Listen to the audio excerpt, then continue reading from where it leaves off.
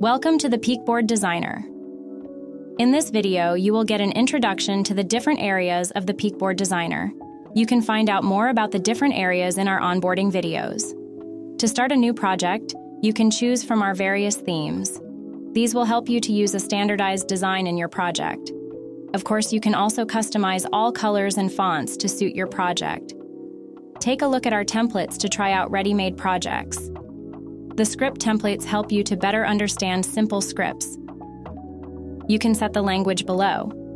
Click here to start a new project. You are now in the main interface of the Peakboard Designer. In the controls bar, you will find all the elements from which you can create your application using drag and drop. The Explorer is located on the left-hand side. All elements are arranged hierarchically here. You can move them to move elements to the foreground or background. You can have as many screens as you like in a project. Click here to add a screen. You will find the attributes on the right-hand side. Here you can make further settings for each element.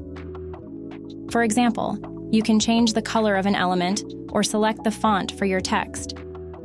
If no element is selected, you can customize the attributes for your screens.